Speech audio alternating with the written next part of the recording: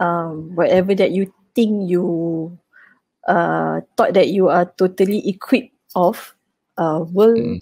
might or might not work lah after you get married mm. because um, yang kita kenal uh, kita punya husband tu masa dia sebelum dengan selepas kita dah kahwin and all that it's going to mm-hmm. be different because there will be family involved there will be mm-hmm. um there will be a lot of conflict tau. Dia termasuk macam uh, you nak pergi rumah ke tak ke you know you nak sama belajar lepas tu nak kerja apa kind of thing. So kalau yang kahwin muda the first offer is the support system. Whether the people mm-hmm. around you your family members your parents especially okay tak kalau macam dia duduk? Because of course you are too young you know. And then bila you duduk dengan your in-law or you duduk dengan your own parents will you be happy or not you know? Mm. I would say uh, just keep your heart open. I think uh, make a lot of adjustment. Uh, in life change is constant kan? So everything yeah. always change.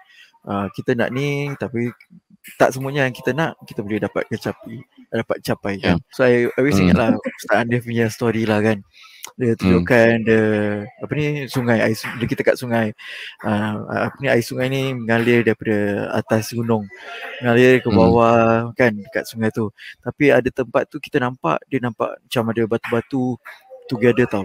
So somehow that that uh, air yang dekat situ dia menjadi bertakung.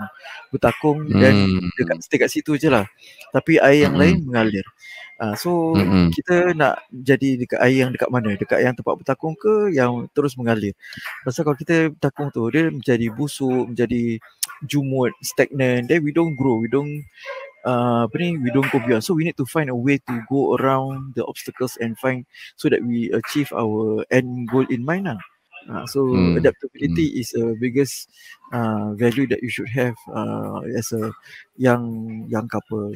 Any youngsters were to ask me lah nak kahwin awal yeah. couple, uh, my yeah. answer is yes and no because it's really uh-huh. depending on your situation, depending on yep. who your bakal husband is, and also yes. family.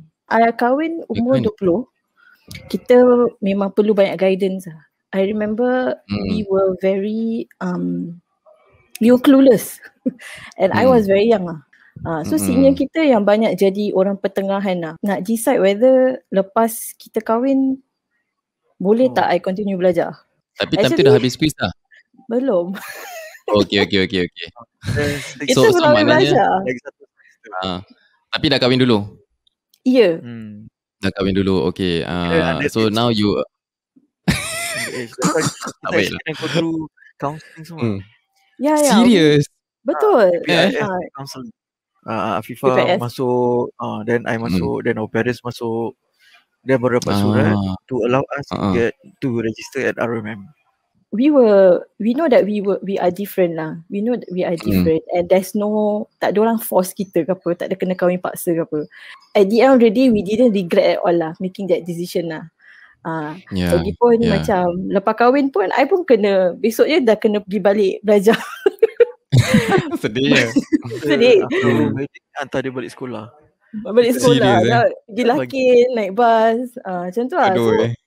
Kita memang boleh plan tau when you yeah. talk about finances insyaallah boleh plan kalau plan pasal yeah. you know nak berjauhan dengan suami ke apa insyaallah boleh plan tapi yeah. macam kita banyak um, go and uh, seek advisors daripada uh-huh. seniors uh-huh. The uh-huh. the correct senior lah. Jangan kalau kita nak advise orang kan kita cakap kena jumpa orang yang kita uh, nampak. Uh, macam nak cakap eh macam ya yeah, dia punya ah yes nampak lah yang dia boleh lah, bantu. legit lah, legit lah.